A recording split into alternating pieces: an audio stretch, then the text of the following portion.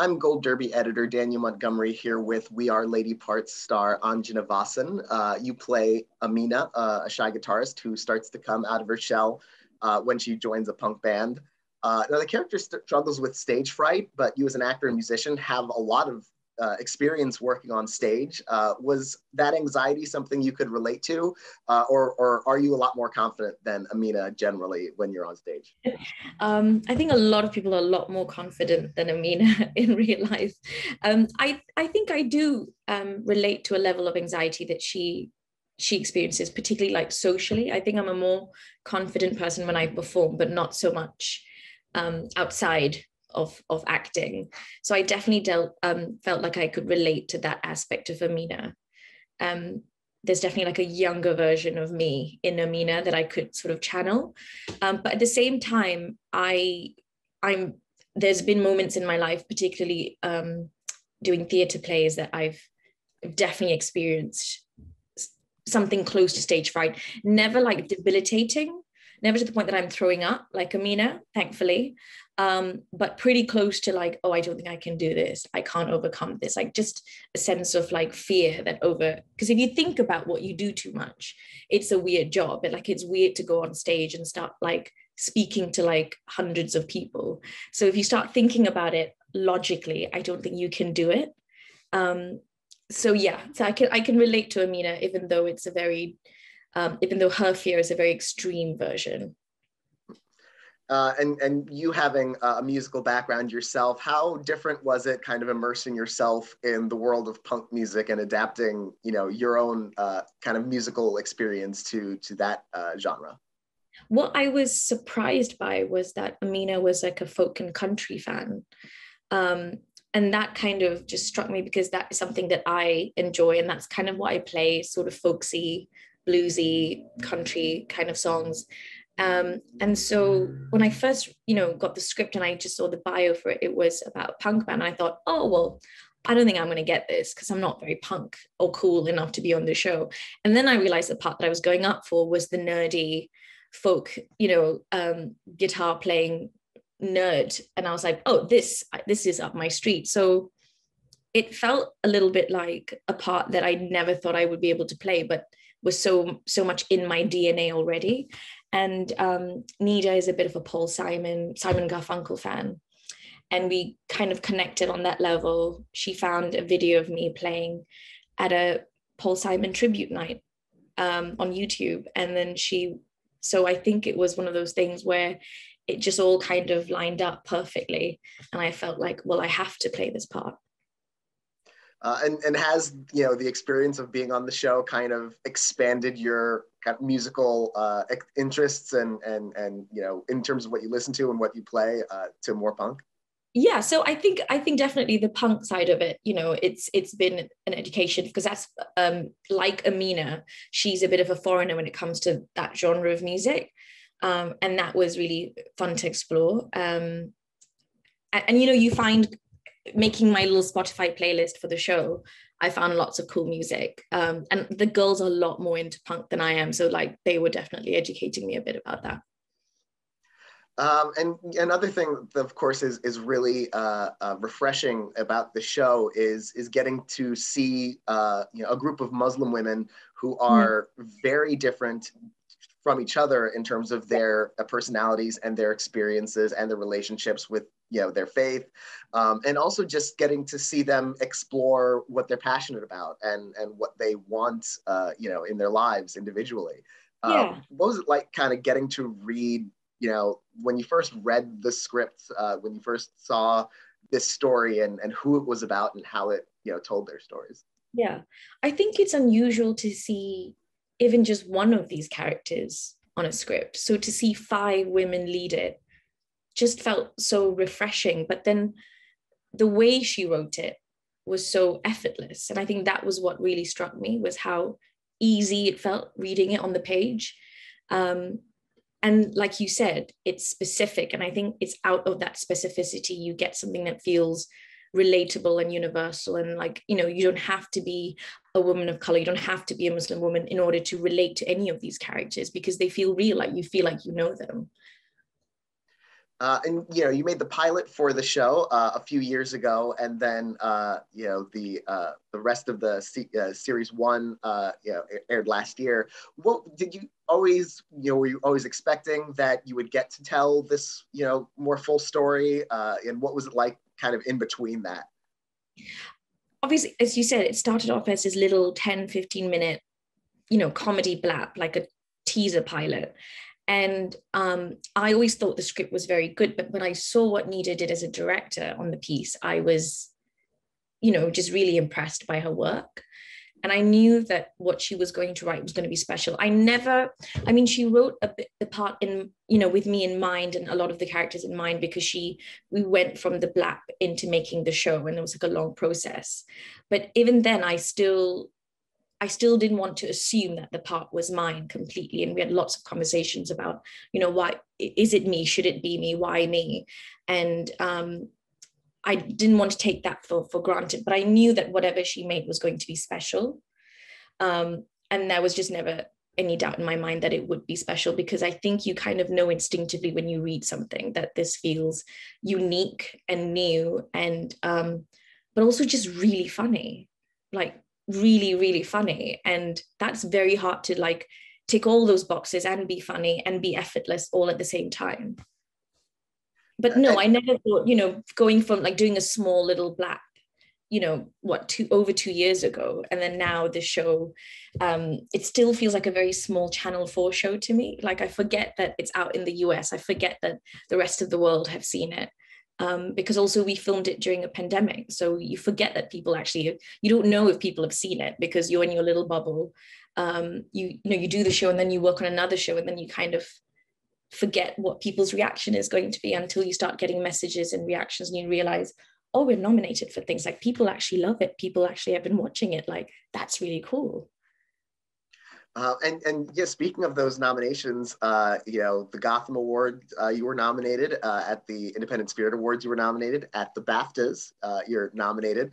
Uh, what what was that recognition all like as it was you know coming in over these last few months? just kind of to see people embracing the show and your performance in particular. I think it's taken some time. It's it's taken a few of these events to then realize that people really love the show and have been watching it because the first two times you go this is a mistake someone made a mistake and i kind of crept through the cracks and i don't know how i landed this nomination but and then you realize that um, people are really moved by the show and really affected by it and they love the show and it's it's it's you know it's a show that's still finding its audience because it's a bit of a cult show you know it's not I think on paper it's not a mainstream show. We're not, you know, there's no famous people in it. Um, so it's I would never assume that it would get this kind of recognition because you assume that very mainstream shows are the ones that are going to get nominated. So I think the recognition that we have is very important for the show to continue finding its audience. And that's what I'm most excited about um, is you know there's not many shows that you do as an actor that you go i really believe in everything that this show represents. Um, and it's not just a gig for any any one of us who's involved in it. It isn't just an acting gig. So for that kind of show to get recognition feels very special uh, and you know you're you're working with uh, this other group of actors who are playing your bandmates, uh, and you're not only working with them as actors, you're also, of course, playing the music with them. Uh, what, what, was what's it like developing that relationship with them as actors, and also ba- basically as the band? I think what Nida did brilliantly is she kind of thought about chemistry as she was casting it so it was one of those things where you know i was really nervous about when you know when i met the girls like would we get on like would we vibe as a band would we be believable? And then sort of just automatically we just clicked. And i think playing instruments and rehearsing for rehearsing songs for the show just was a great way to actually get to know each other. Before we even you know before the scripts were even finalized before we even got to the point where we were rehearsing the scenes we were already learning the songs. Um, and there was you know first we learned individually our instruments and then we got together and just played all the songs like we were playing a set list as a band. And you're spending hours in the studio messing about and cracking jokes and having fun and also working very hard. And by the end of the day, you're friends and you, you're not thinking about building chemistry, it's just kind of organic. And I think that's what, by the time we got on set, it felt like the cameras were rolling, but we weren't really thinking about the cameras. We were just being ourselves. I think that's the sort of magic of what Nida's, you know, made that space possible. Uh, and, and the show also uh, you know leaves room for uh, you know these characters to to be emotional to to to have these uh, you know darker heavier moments between each other as they you know experience yeah. conflict like the scene where uh, you know after uh, the article comes out about the band and Amina decides you know just quits the band at that point um, what what was it like shooting those moments of, of sort of tension and, and more conflict it it felt very believable i think. It didn't feel like melodrama. It felt like something that would was um, felt natural to where the story was going. Um, it felt very hard to do those scenes. I think some of the more difficult days on set in terms of a, um, a challenging day for an actor was were the emotional scenes. Um, because we're also taking it from like a sitcom into something that maybe feels like a sitcom at the beginning and then it goes into something a bit more expansive and you know the way needed it almost cinematic and bigger. Uh, and you want to get the tone of that right. Um, and i think you know I, the days where you know we were doing when i was doing the scene where i had to sing creep the day that you know we had to break up as a band those were the more the more challenging days on set.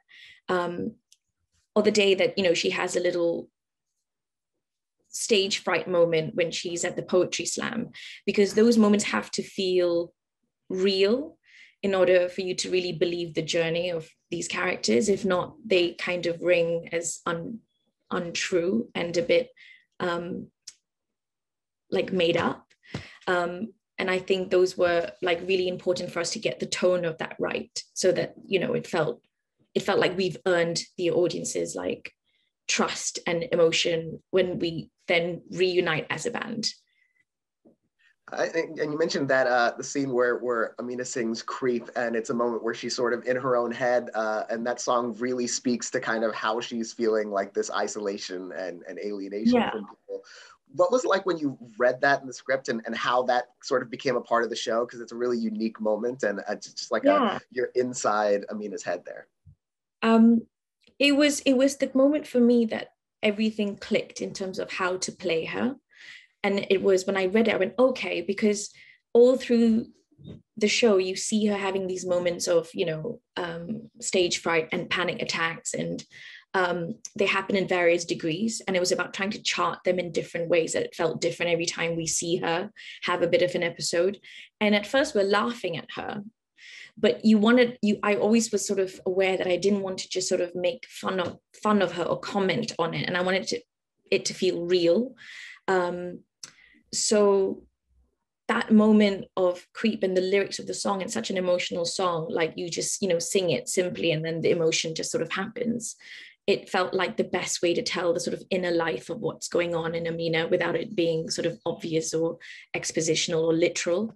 Um, and and it's like all through the show she's trying to find her voice and she sort of can't. And i think that moment it's a moment of like emotional release that is really earned. And it it, it really helped me then go backwards and chart how to make make that journey for Amina to to like I say I keep saying to make it believable and real so that it's not just a sort of a laugh at her point at her and laugh at her kind of comedy if that makes sense uh, and another thing that I, I really appreciated about the series um, uh, in terms of Amina and her relationships is in a lot of like culture clash stories that we see about variety of cultures, it's often about a character kind of rebelling against a strict family. Yes. But in this case, you have Amina's parents who are almost more supportive of her like punk career than she is.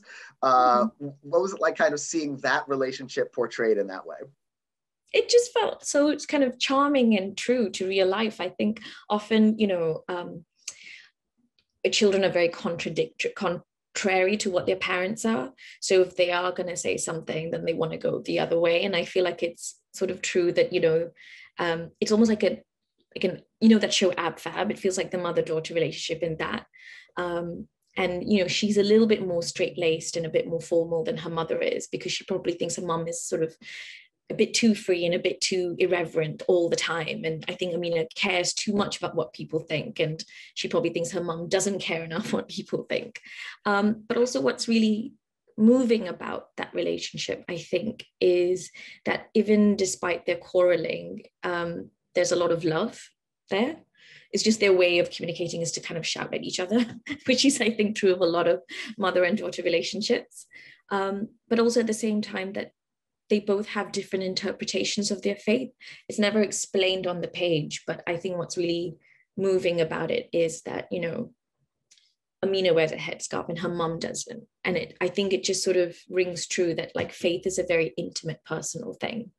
And I love that it never has to be explained in the script why that is, but they both like respect each other so much. Um, yeah, and I think that's what I really love about that relationship. Uh, and the show has been uh, renewed for uh, a second series. Um, and uh, you know, where we left these characters, uh, they were sort of, you know, coming into their own as a band, uh, you know, not to give anything away, of course, but I'm wondering how much you know uh, about where the show is going. Have you seen scripts? Uh, you know, what what's the process of that right now? I mean, I know absolutely nothing. I mean, Nida has told me nothing. I know she's still, you know, she's still working on it. There's some ideas. Um, I, you know, we keep trying to pitch her ideas about where it should go. Um, but I have no idea where Amina goes. Like, you know, now that she's kind of overcome stage fright a little bit, I wonder what her journey is. I think it's quite open ended in terms of like the love story between her and um, Ahsan, where it could go. So maybe there's a bit more to explore in her kind of personal life, maybe. Maybe there's you know a rival band. Maybe maybe they try and take over america. Like i don't know. Um, and you know this season you're you're also appearing uh, in a completely different role in in killing eve in, in this final se- season of that show. Um, playing these two like uh, playing an assassin in, in killing eve. Um, you know which character would you say is closer to your personality? If you're not uh, you're not you're not actually an assassin i would say I'd, I'd probably say Amina is closest to me, I think, than um, an assassin who embalms bodies. Um, yeah, Pam was definitely a role that um, probably the most different to anything I've ever played before. But it was uh, a lot of fun. I got to do stunts, which I never get to do. So that was cool. Uh, well, uh, I want to congratulate you on both, um, and and you know the recognition you and uh, the series have been receiving. Uh, and and thank you so much for talking with me about it. It's it's uh, been a pleasure talking with you. It's been really fun talking about it. Thank you so much for having me.